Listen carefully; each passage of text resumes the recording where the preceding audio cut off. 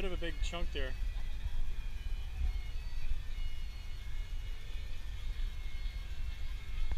He's like, I know you got more.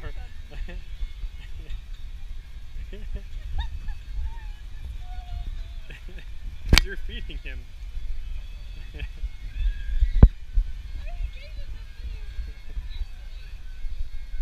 well, grab the food again and hand it to him.